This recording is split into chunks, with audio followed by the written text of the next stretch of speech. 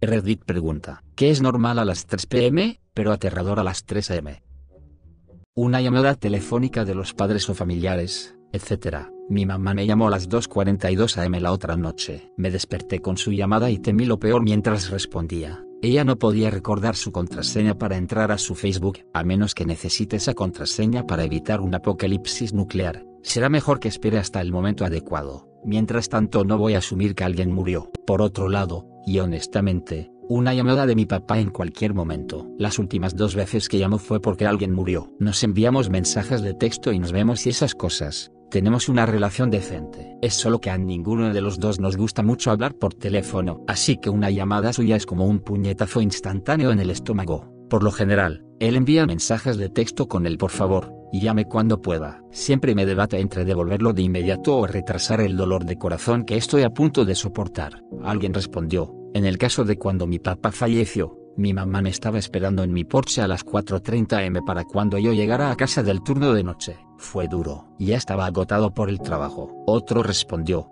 yo vivo más cerca de la casa de mis padres que mi hermana, así que probablemente me informen a mí primero y definitivamente yo esperaría hasta que mi hermana se despierte por la mañana antes de llegar a informarle. No hay una manera correcta o incorrecta de hacer esto. Es una carga pesada, el dolor es casi insoportable, Perder el sueño no está más allá del entumecimiento en la mayoría de las situaciones. Tener que decirle a mi esposa que su madre había fallecido fue lo más difícil de que he soportado. Hasta me conmuevo al recordarlo. Y haber visto nacer a mi hija fue el mejor día que he vivido. Es divertido que perdamos el control de lo que importa tan fácilmente, pero la vida siempre encuentra la manera de volver a encarrilarte, sin importar cuán largo sea ese camino.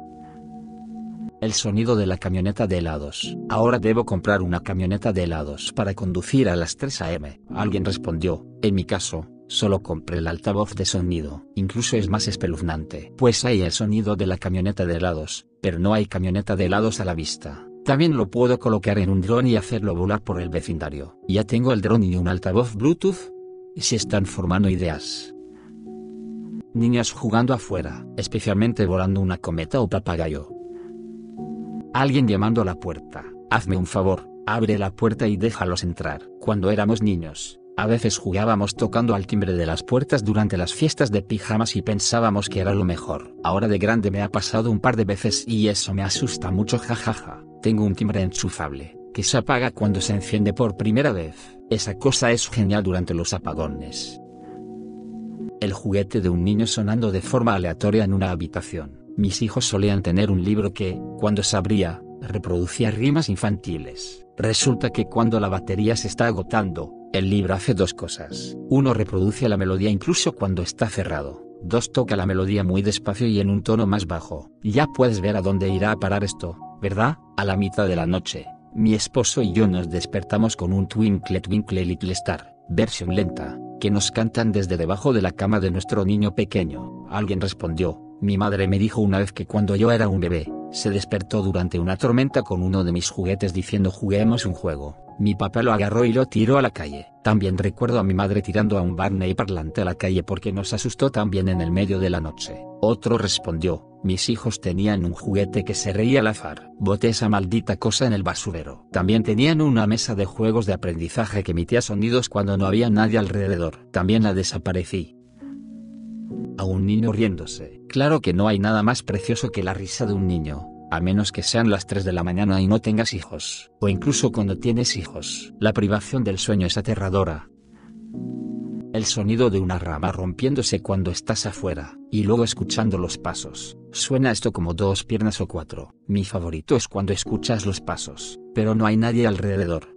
Lo más probable es que sea una tortuga en el bosque. Por favor, dime que es una tortuga del bosque. Una vez vi una fiesta de cumpleaños de niños pequeños en un parque muy tarde en la noche, como casi medianoche. No entendí por qué carrizo y por alguna razón el nivel del sonido era realmente alto, como si mi cerebro dijera que esto es una mierda espeluznante y te van a comer como pastel de cumpleaños, así que seguí moviéndome. El niño era un fanático de la astronomía, por lo que sus padres lo programaron como una especie de pijamada. Incluso obtuvo un permiso especial y pagó para que la ciudad apagara algunas de las luces. También hay ciertas discapacidades o condiciones en las que las personas no pueden estar expuestas al sol. Si el niño tuviera eso, tal vez tendría sentido tener su fiesta después del anochecer para que pudieran jugar en los patios de recreo y otras cosas que normalmente no pueden hacer durante el día.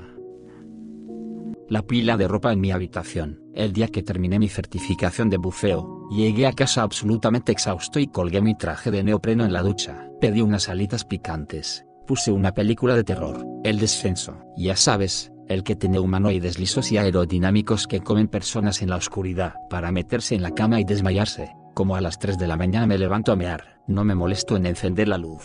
A la mitad del proceso, miro hacia mí y veo una suave silueta humana cerniéndose sobre mí. Genial. Ahora hay orina hasta en el techo. Tengo que amar el susto del acechador de la ducha. Mi hermano solía tener una figura de cartón gigante de Austin Powers recortada completo con caja de voz activado por movimiento. Maravilloso bebé. Puso eso en la ducha con la cortina a medio correr una noche antes de acostarse. Me desperté. Tenía que ir a orinar y desperté a todos con mis gritos cuando me sobresalté. Es por eso que nunca cierro la cortina de la ducha cuando no está en uso. Siempre está completamente despejada. Vas a tener que saltar del baño para asustarme. Lo cierro después de una ducha para que no retenga agua donde se pega y se enmuece. La próxima vez que orino, las cortinas de la ducha se abren y permanecen así hasta la próxima ducha.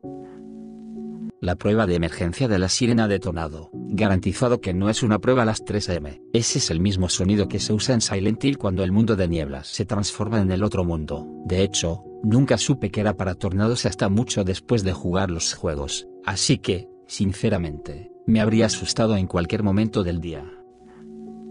Las noticias de última hora, no eran las 3 am, pero aún era un poco tarde, ya que tanto mi papá como yo estábamos en la cama, cuando recibimos alertas de un discurso presidencial especial para cuando el equipo 6 de los SEAL mató a Bin Laden. Recuerdo llamar a su puerta y susurrar gritando papá, papá, tenemos que ir a encender la televisión. Solo estábamos nosotros viviendo ahí, no sé por qué estaba susurrando y gritando jajaja. Estaba pensando que tal vez alguien fue asesinado o estábamos a punto de ser bombardeados, esperando algo terrible. También recuerdo cuando murió la princesa Diana y mi mamá me despertó en medio de la noche para decírmelo. Yo tenía 10 años y soy estadounidense y ni siquiera sabía quién era ella. Yo estaba como ok y me volví a dormir. Te arrancó las sábanas y gritó, acaba de escuchar que la princesa Diana y su amante Dodi Fayed fueron asesinados en París como si tuvieras algo que ver con eso. El perro parado en lo alto de las escaleras y ladrando a algo que está en el piso principal. Mi perra no ladra muy a menudo, la tuvimos durante cuatro años antes de escucharla ladrar, así que esto me asustaría al 100%. Esto sucedió con mi última perra. Yo dormía con la puerta abierta y ella dormía a los pies de la cama. La sentí moverse en medio de la noche y me despertó. Así que miré hacia abajo y la vi levantarse lentamente y mirar por la puerta del dormitorio. Saltó de la cama y comenzó a volverse loca y a ladrar. Estaba cruzando frenéticamente el umbral de la habitación y luego retrocediendo hacia la habitación. Era como si estuviera tratando de hacer que algo o alguien retrocediera, pero seguía asustándola y venía de regreso a la habitación. No podía ver por la puerta desde mi ángulo, así que no tenía idea de a qué le estaba ladrando. Ni siquiera me reconoció cuando le estaba gritando que se detuviera, lo cual es extraño porque generalmente era bueno escuchando y nunca ladraba. Entonces, de repente, dejó de ladrar, saltó sobre la cama y se durmió. No tengo ni idea de a qué diablos le estaba ladrando. Éramos los únicos dos seres vivos en la casa y las cámaras alrededor de la casa no captaron nada en toda la noche. Esos ambientadores en spray automáticos. Sí, me asusté muchísimo por un pis de la sala de estar a oscuras en medio de la noche. Estaba tratando de susurrar que olía mal y que estaban haciendo el aire de la casa un poco más fresco. Debería haberlo agradecido. Sonidos de la casa. Durante el día si la casa cruje o lo que sea, ¿a quién le importa? Si es de noche, santo carajo demonio en la oscuridad. También la máquina de hielo. 3 pm solo hielo, 3 am. ¿Quién diablos está entrando? Maldita máquina de hielo. ¿Nunca duermes? Sintiendo como si algo hubiera saltado sobre la cama. A las 3 pm mi puerta está abierta. Podría ser mi gato. A las 3 am. Podría ser Terry. Mi monstruo de la parálisis del sueño. Terry es muy desagradable. Terry aterrador. Terry ame al yogur. La puerta que se abre. Mi hija trabaja durante la noche y el invierno pasado me desperté cuando abrieron la puerta. Así que fui a investigar. Ella usa un abrigo enorme en el invierno. Así que como una sombra, sin luces encendidas, veo a alguien caminando hacia mi casa de aproximadamente cuatro pies de ancho. Llegó a casa cinco horas antes, me asusté bastante, y mi esposa es enfermera del turno de noche y, a veces, la envían a casa temprano porque no la necesitan. El verdadero horror es despertarse con la apertura de la puerta del garaje a las 3 am jajaja. Mirarse en el espejo del baño. He decidido que tengo que mirarme directamente en el espejo o cerrar los ojos cuando lo pase. Nada en el medio. Si solo paso frente al espejo pero lo noto en mi periferia, estoy convencido de que veré una figura sombría moverse por el rabillo del ojo y moriré de pánico. Habiendo tenido que huir de mi casa a las 2 am debido a incendios forestales, diría que hay mucho tráfico. Es el tráfico pesado a las 3 am lo que es aterrador, no los incendios forestales, que son aterradores sin importar la hora que sea. Experimenté el terror de despertarme a las 2 am con mi vecindario en llamas. Yo mismo. Fue aterrador. Wow, llegaste hasta aquí. Gracias por entonarte con Radio TV. Si el video te gustó deja tu like y suscríbete. Siga, arroba Radio TV. Hasta la próxima.